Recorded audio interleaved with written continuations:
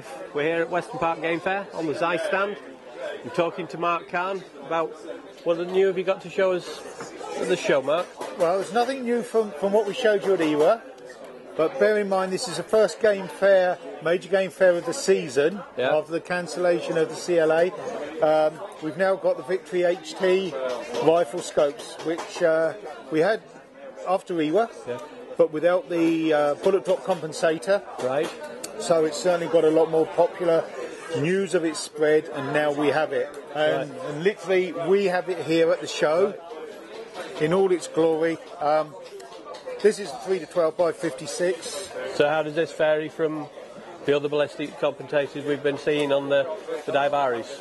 Well, on the FL, we had we had the turret, and what you used to do was you fitted a, uh metallic strip, Yeah.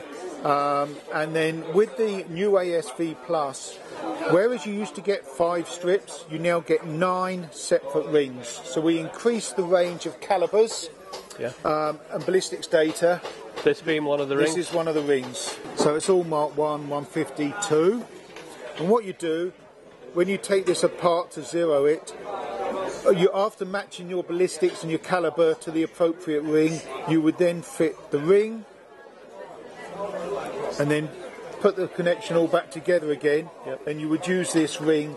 So if you're at 200, you would lift the turret, drop it to the two mark, and keep your point of aim. Right. I see. And these are marked up 100, 200, 300, 400, 500, and so on. And they would vary to whatever caliber you've got, which you match up to your ballistics you tap into the website. Yeah, and if you home load, there is also a program where you can go into it, you enter all your ballistics data, and it'll give you the same ring number which should be fitted should you home load. Right. Is this scope available with uh, ballistic compensator for the windage? No, you can have it as a, an extra.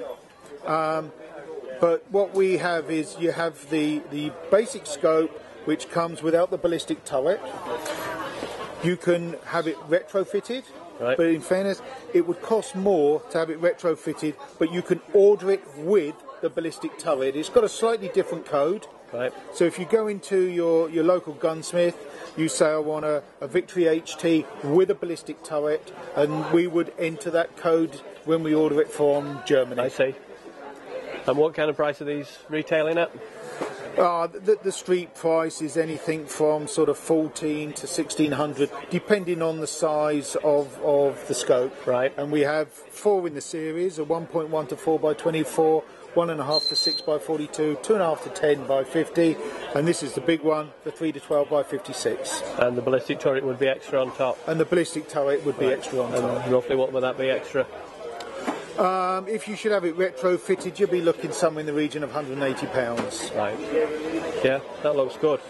A nice, slim, compact scope, aren't they? compact, new Schott glass. I mean, this is we discussed it in Yeah. in IWA in March.